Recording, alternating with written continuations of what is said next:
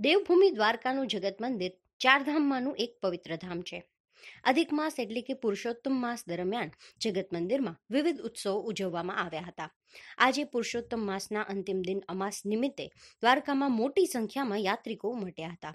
ભગવાન શ્રી દ્વારકાધીશને લક્ષ્મીનારાયણ સ્વરૂપના શણગારના અલભ્ય દર્શન પુરુષોત્તમ માસમાં યાત્રિકોને થયા હતા. સેંકડો શ્રદ્ધાળુઓએ ગોમતી નદીમાં સ્નાન કરી પુણ્યનું ભાથું બાંધ્યું હતું. જામનગર ખંભાળિયા હાઈવે ચોમાસા પછી જર્જરિત થઈ ગયો છે. ખાસ કરીને ઝાખરના પાટિયા પછીના માર્ગ પરથી ડામર અદૃશ્ય થઈ ગયો છે. ખાડા ટેકરા અને કાંકરાઓથી ભરેલા આ માર્ગની એક બાજુથી વાહનોની અવરજવર બંધ કરી દેવામાં આવી છે, જેને પરિણામે સિંગલ પટ્ટી અને જર્જરિત રોડ પરથી પસાર થવામાં વાહન ચાલકોને ભારે હાલાકી ભોગવવી પડે છે. લગભગ દરેક ચોમાસા પછી આ માર્ગ જર્જરિત થઈ જતો હોય છે. વારંવાર સમારકામ પછી ફરીથી જર્જરિત થઈ જતો આ માર્ગ ભ્રષ્ટાચારની ચાળી ખાય છે. આ માર્ગ પર કોઈ અકસ્માત સર્જાય તો તેની જવાબદારી કોની એ પ્રશ્ન ચર્ચાઈ રહ્યો છે. તંત્ર આ માર્ગના નિર્માણમાં ભ્રષ્ટાચાર કરનાર જવાબદારો સામે પગલાં લઈ તાકીદે માર્ગનું સમારકામ કરાવે તેવી માંગ ઉઠી છે.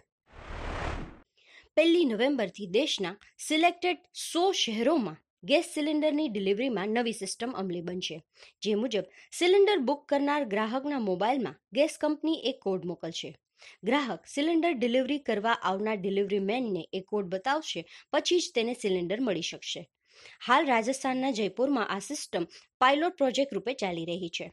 આ પ્રોજેક્ટનો સક્સેસ રેટ પંચાણું ટકાથી વધારે હોવાથી ધીમે ધીમે આ સિસ્ટમને સમગ્ર દેશમાં અમલી બનાવવામાં આવે તેવી શક્યતા છે.